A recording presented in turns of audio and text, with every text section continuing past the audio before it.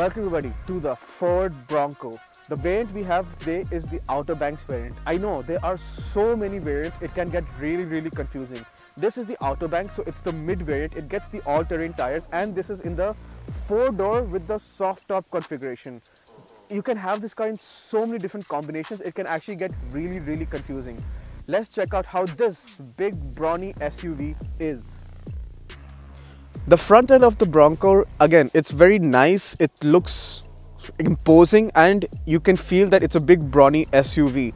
The headlights are round with the iconic, you know, daylight running strip on the headlight, which again gave it a very unique personality and you can definitely tell it's a Bronco at night. This has the grille with Bronco embossed on it, but you can get it with a different designs of grills, which are obviously available as options. This car is all about the options. You've got some latches on the bonnet as well which you can definitely use to mount different stuff because again it's all about accessorizing your Bronco to make it the most capable off-roader machine you want it to be. This is the Outer Banks variant so it's got regular bumpers on the front but they do have an option of off-road bumpers which are standard on the higher variant which is the Badlands variant. Again you can tell how tall, how big this SUV is and it's very imposing. Very very cool looking and it has its own charisma on the roads. The side profile of the Bronco is again you can see very boxy, very rectangular which I like and it actually reminds you of the Bronco from the yesteryears which was on sale several decades ago. In fact even its closest rival maintains a very similar silhouette of being rectangular and boxy which is the Jeep Wrangler. I think this looks much better than that though and this looks much more imposing as well. It's got the Outer Banks uh, sticker on the fender to remind you what variant this truck is. And this has the regular 18 inch rims which give it a very urban touch. If you do get the higher badlands variant you get bead locked off-road rims with much wider mud terrain tires. This has regular all-terrain which makes it a bit more civil and much more fitting for urban environments as well as off-road environments. As you can see this is the four door with the soft top option because this can be had as a two door and something with a hard top as well. So this is the four door with the soft top and the soft top can be folded not the best weather to fold your soft top I'd say in this weather but in summer I feel like the potential is endless. The rear of the Bronco has very traditional boxy SUV looks that's carried on from the side and personally I'm a big fan of the way it looks. It's got very rugged looks and it's got the spare mounted on the tailgate which reminds you that it's a big big brawny SUV. The spare wheel mount has the stoplight and the reverse camera integrated into it and it has some very beautiful LED rectangular tail lights which house the indicator and the reverse lights. Since this is the Outer Banks, it's not the off-road variant, so it's got plastic bumpers just like the front. If you do opt for higher variants or more off-road serious variants, you do get uh, metal bumpers on this, which can perhaps take abuse a bit better. I just like the way it looks and with especially the soft top it lends a bit of an outdoor feel not the most ideal setup for this kind of weather but I mean for summers I can only feel what kind of potential it would have I love the way the Bronco looks from all angles.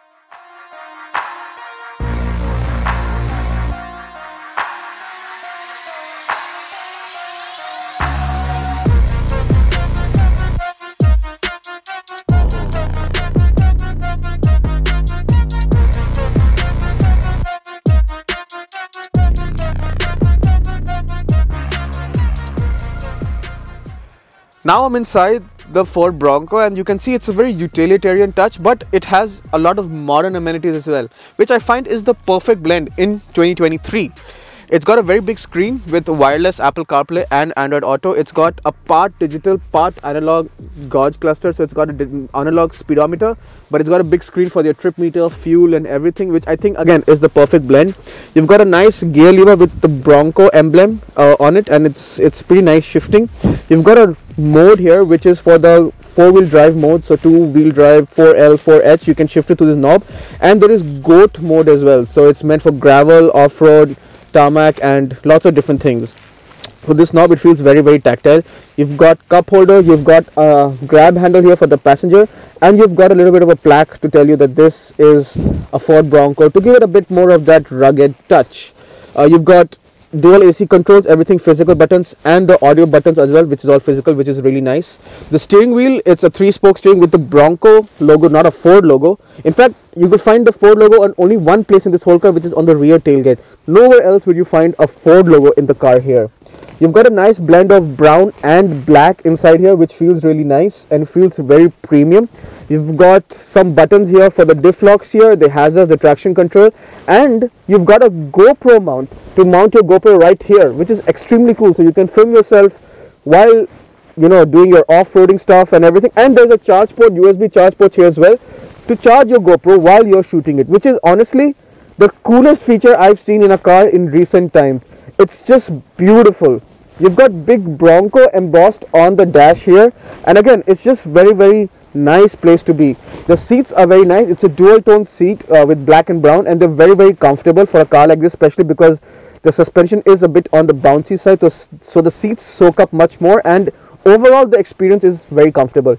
This is the soft top so you can actually pull this latches on both sides and then fold the roof away uh, very useful for summer and actually will let in a lot of light because otherwise it's a bit of a dark interior especially the windows are heavily tinted from factory so it's a bit on the darker side again it's a lovely place to be and it feels very much at the price point this car is sold at I'm in the rear seat of the Bronco and space is not an issue. However, it's a bit too dark. In fact, this factory tinted glasses are I feel a bit too dark and it's quite a dark ambience inside here. Perhaps if you open the roof, it would have been much better, but not the right weather. Honestly, I would not advise in winters to open this because it's really, really cold and windy.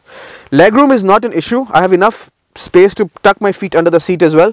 However, the backrest is a bit too upright I would feel for my liking. The headrests are really big, but the backrest is I feel a bit too upright. The windows are pretty big, so whatever light it lets in through the dark tint, it's very, very nice. You've got a grab handle to help you climb in. You've got uh, a proper charging port here which you can plug in anything and you've got USB ports as well and you've got the window switches which are very similar to the front because in this Bronco the doors are removable it's only a few uh, screws you have to undo and the doors can come out which is again give it that bit more lifestyle vehicle touch but yeah it's a nice place to be. And a third passenger is welcome because the middle hump isn't that big. And they have a headrest as well.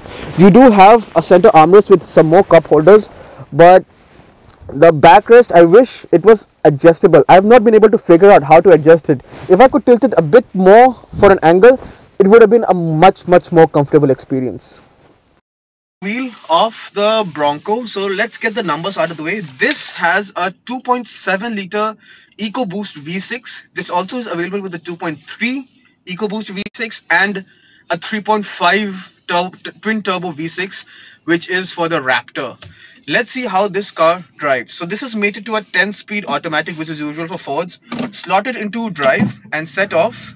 And it just jumps off the line. There's so much torque. There is no turbo lag as such.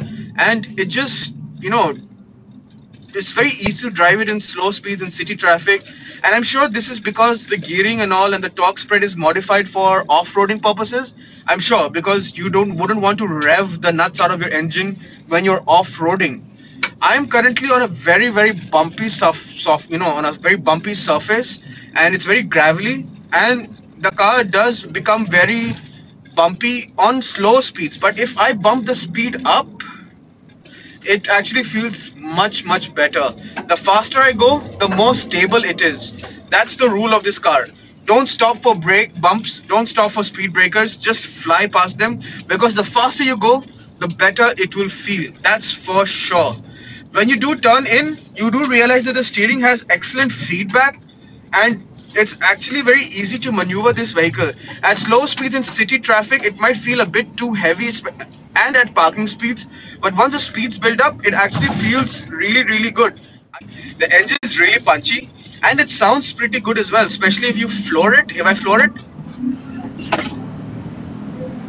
it sounds good. This V6 is pretty punchy as well because it helps this SUV go from 0 to 100 in under 6 seconds, which is honestly a revelation because it's so so heavy and it's so large. And if you see something this big coming so fast it can definitely be intimidating and scary for other road users. The fuel economy I, am getting an average about 30 to 13.5 liters per 100 but it's a mix of very bad city traffic and some highway driving. Again i can't complain because I've not been driving it very, you know, eco-friendly because the engine sounds so good and I'm compelled to drive it a bit aggressively. But yeah, Ford has nailed the suspension, the engine, the steering feel, and it's something they've been always been famous for. So I'm not actually surprised they did so well. Honestly, this is a fun to drive SUV. In conclusion, then, the Ford Bronco. Well, there's a lot of hype this car has to meet. It has lots of waiting periods, and dealers are selling it for markup as well. That's how much the demand is. I was initially really excited to try it out, and to be honest, it's met all my expectations really well. It's not the most sophisticated SUV or the most comfortable, but that's not what the Bronco is about. It's about being capable anywhere, everywhere, and whenever you want to take out your vehicle, be it snow, run, rain, mud, anything, your Bronco will always do the job for you.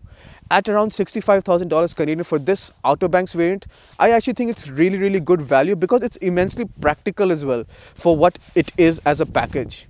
Honestly, it met all my expectations and I couldn't be happier to finally get my hands on this vehicle.